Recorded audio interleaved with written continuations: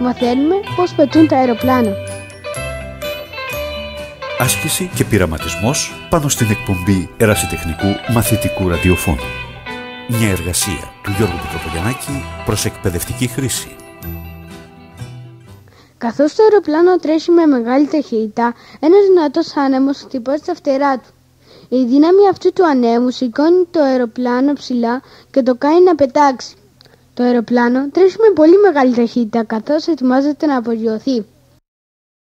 Ο άνεμος αναγκάζει τα φτερά να αρχίσουν να σηκώνονται το, να σηκώνει το αεροπλάνο. Ένας δυνατός αέρας σηκώνει το αεροπλάνο ψηλά στον ουρανό.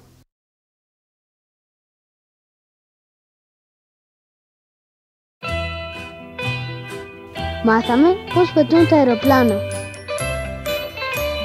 Άσκηση και πειραματισμός πάνω στην εκπομπή ερασιτεχνικού μαθητικού ραδιοφώνου.